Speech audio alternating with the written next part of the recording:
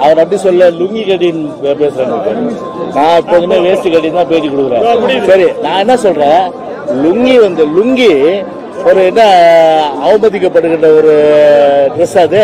நான் ஒரே ஒரு விஷயம் கேட்கிறேன். இன்னைக்கு இஸ்லாமியர் கட்டுறாங்க மலேசியால கட்டுறாங்க சிங்கப்பூர்ல கட்டுறாங்க உலகத்துல பெரும்பாலான நாடுகள் கட்டுறாங்க. ஏன் இன்னைக்கு தமிழ்நாட்டுல இன்னைக்கு வீட்ல எல்லாம் மேக்சிமம் லுங்கி தானே கட்டிட்டு இருக்காங்க இன்னைக்கு? லுங்கி கட்டுறத வந்து பாத்தீங்கன்னா ஒரு அவமரியாதை சொல்ற ஒரு பெரிய கண்டுபிடிப்பான அதாவது எங்களை பொறுத்தவரை பார்த்தீங்கன்னா அந்த வேதாளம் இப்போ தற்போது அந்த- அண்ணாமலை அண்ணாமலைன்ற வேதாளம் தற்போது எங்களை விட்டு இப்போ செல்வ பிறந்தங்க மேலே ஏறி போச்சு. அண்ணா அதாவது பல பேய்கள் தமிழ்நாட்டில் இருக்கு. இந்த வேதாளம் வந்திருப்பதே பேயை ஓட்டுறதுக்கு தான். அதனால ஒரு ஒரு பேயா ஓட்டிக்கிட்டு இருக்கேன். இந்த பேயை ஓட்டிட்டு திரும்ப அந்த பேய்க்கு வர்றேன். அதனால இத்தனை பேய் இருக்கிறனால ஒரே நேரத்தில் எல்லா பேயும் ஓட்ட முடியாது. ஒரு ஒரு பேயா போய் தான் வரணும்.